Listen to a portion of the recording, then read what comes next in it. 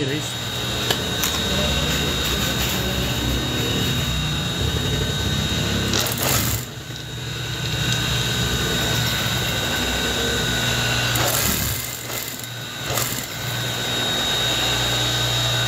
Kaya si Papa ulam. Sabit na sabit, gamitin.